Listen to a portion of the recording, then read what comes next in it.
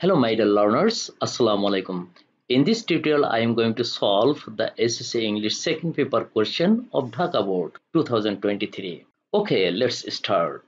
আমরা সরাসরি চলে যাব কোশ্চেন নাম্বার থ্রি অর্থাৎ তিন নম্বর কোশ্চেনের উত্তরটি কীভাবে করতে হবে এই টেবিলটি কীভাবে কোনটার সাথে ম্যাচিং হবে সেটা আমরা করে দেখব আমরা একটু ছোট করে নেই কোশ্চেন নাম্বার থ্রি আমরা আগে ডিকটেশনটা পড়ে নেই Make six sentences using the parts of sentences from each column of the table below. এই যে টেবিলটি রয়েছে নিচের, এই টেবিলটি থেকে ছয়টা সেন্টেন্স তৈরি করতে হবে, তিনটে কলাম থেকে নিয়ে নিয়ে। তাহলে দেখুন, আমরা একটু টেবিলটাকে হালকা উপরে উঠাই যাতে ছয়টি সেন্টেন্সের অংশ বেশি দেখা যায়, অর্থাৎ এফ নাম্বার পর্যন্ত দেখা যায়।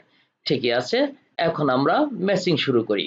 এই টেবিল করার ক্ষেত্রে মনে রাখতে হবে, এখানে তিনটি কলাম থেকে প্রত্যেকটা তথ্যই শুধু একবার বসবে। একাধিকবার বসার কোনো সুযোগ নেই, কারণ এখানে প্রথম কলামে ছয়টি অংশ আছে সেন্টেন্সে দ্বিতীয় কলামে ছয়টি, তৃতীয় কলামে ছয়টি। বিধায় যার যারটা তার তার ক্ষেত্রেই বসবে ডাবল হওয়ার কোনো সুযোগ নেই, অথবা কোনোটা বাদ পড়ারও কোনো সুযোগ নেই।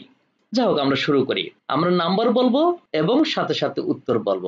Number A global warming refers to the increase in the temperature of the globe আমরা জানি রিভারের সাথে সাধারণত টু হয়। আর এখানে এই অংশে, এখানে একটা টু আছে, এখানে একটা টু আছে। এটার সাথে অর্থের ম্যাচিং হয় না। এই অংশে ম্যাচিং হয়। তাহলে অর্থটা কি হবে? গ্লোবাল ওয়ার্মিং বলতে বুঝায় আমাদের গ্লোবে অর্থাৎ এই পৃথিবীর তাপমাত্রা বেড়ে যাওয়াকে। তাহলে গ্লোবাল ওয়ার্মিং বলতে পৃথিবীর তাপমাত্রা বেড়ে যাওয়াকে বোঝায়। তাহলে আমাদের এ নাম্বারের উত্তরটা কীভাবে হবে? A plus two plus three অথবা তীরচিহ্ন দিয়েও লেখা যায় এ তীরচিহ্ন দিয়ে টু তীরচিহ্ন দিয়ে থ্রি দিয়ে তারপর পূর্ণাঙ্গ সেন্টেন্সটা লিখতে হবে। তাহলে global warming refers to the increase in the temperature of the globe এই হলো আমাদের এ নাম্বারের উত্তরটি। এবার বি নাম্বারের উত্তরটি আমরা মিলাই। দেখুন, irresponsible activities of human beings are mainly responsible for it আমরা এটা কেন দিলাম? দেখুন irresponsible activities of human beings এখানে সাবজেক্টটি পুলুরাল এই যে অ্যাক্টিভিটিস পুলুরাল বিধায় আমরা পুলুরাল ভার্ব খুঁজে নিয়েছি, এখানে একটা পুলুরাল ভার্ব আছে, এখানে একটা আছে। তার ভিতরে ম্যাচিং করার জন্য তিন নম্বর একটা ভালো ম্যাচিং হবে। তাহলে আর, এরপর আমরা বলেছি mainly responsible for it it মানে গ্লোবাল ওয়ার্মিং তাহলে গ্লোবাল ওয়ার্মিং এর জন্য প্রধানত মানুষের অযৌক্তিক বা অযথা কাজগুলো দায়ী। তাহলে আমরা কোনটার সাথে কোনটা মিলাইলাম? B plus three plus one আবার বলছি B plus three plus one অর্থাৎ irresponsible activities of human beings R mainly responsible for it এবার আমরা সি নাম্বারে চলে যাব। দেখুন sea level is rising due to global warming তাহলে সি নাম্বার উত্তর হবে C plus one plus two sea level এই সাবজেক্টটি থার্ড পার্সন সিঙ্গুলার তো এরকম একটা সিঙ্গুলার ভার্ব আমরা খুঁজে পেয়েছি ঠিক এইখানে। Refers to third person singular verb কিন্তু এটা একবার ব্যবহার করে ফেলেছি, এখানে দেবো এটা। তাহলে sea level is rising sea level বেড়ে যাচ্ছে। কিসের কারণে? Due to global warming global warming এর কারণে সি লেভেল অর্থাৎ সমুদ্রের লেয়ার বা লেভেলটা বেড়ে যাচ্ছে। তাহলে আমরা সি নাম্বার কি দিলাম? C plus one plus two এইবার ডি নাম্বার দেখব।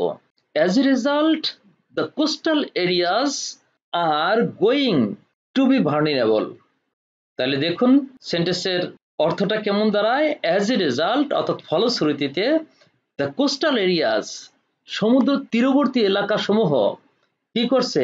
Are going to be vulnerable অর্থাৎ সমুদ্রের নিকটবর্তী এলাকা সমূহ বা তীরবর্তী এলাকা সমূহ ঝুঁকির সম্মুখীন হচ্ছে।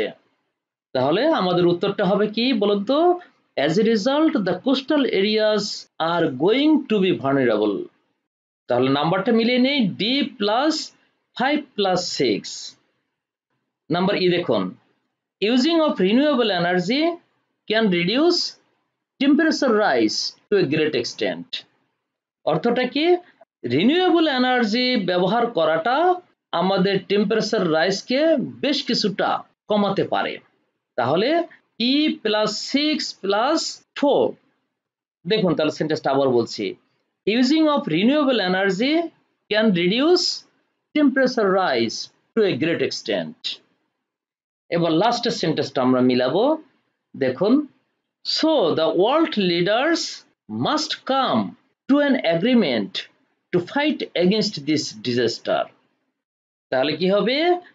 F plus four plus five. দেখুন, আবার সেন্টেন্সটি পড়ছি। So the world leaders must come to an agreement to fight against this disaster এই বিপর্যয়ের বিরুদ্ধে ফাইট করার জন্য পৃথিবীর নেতাদেরকে এগিয়ে আসতে হবে। এটি ছিল আমাদের টেবিলটি তাহলে আমরা এখানে ছয়টি সেন্টেন্স মিলিয়ে ফেললাম। এভাবে পড়াশোনা সংক্রান্ত নিত্য নতুন টিউটোরিয়াল পেতে আমাদের সাথেই থাকুন। ধন্যবাদ সবাইকে।